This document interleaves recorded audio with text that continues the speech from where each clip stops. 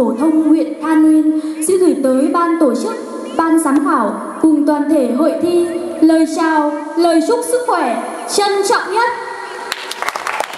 Nhà này không có hình nền à?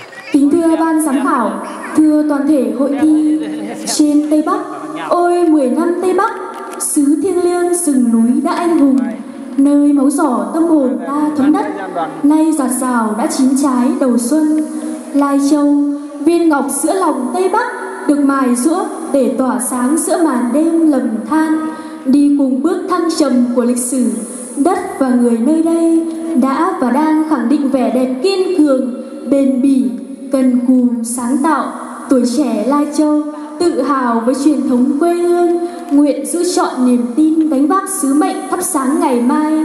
Đoàn dự thi trường dân tộc nội trú trung học phổ thông huyện tha Nguyên xin gửi tới ban giám khảo cùng toàn thể hội thi chương trình nghệ thuật mang tên Hương sắc vùng cao.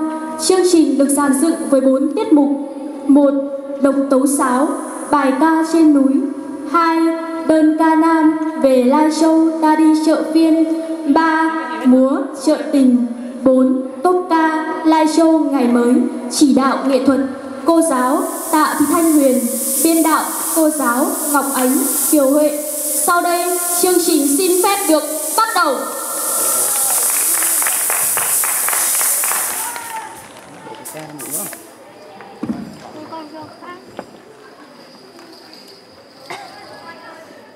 Vừa đổ rồi bác. Vừa đổ rồi, có rồi, có rồi. Có rồi, có rồi. Đây đây cho cho, cho thư ký đây một chén về. Uống hết, uống hết cái này lại uống cái kia.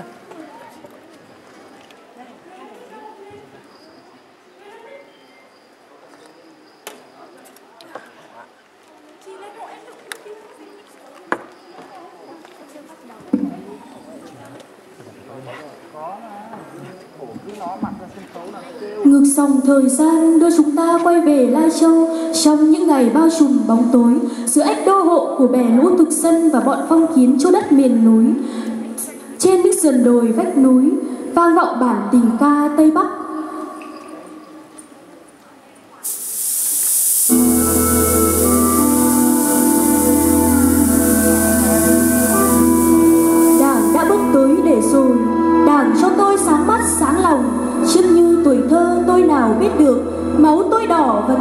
yêu nước, Tôi chỉ biết là đêm tối mênh mông.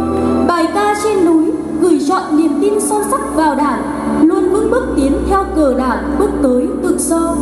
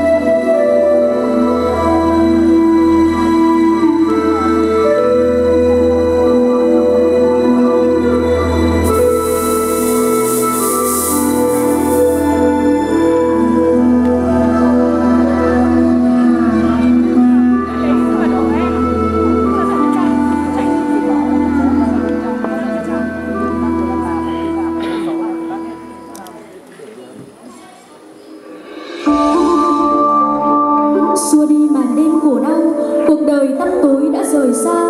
Trên những sườn đồi vách núi, vang vọng và tình ca tây bắc. Lai show của ngày hôm qua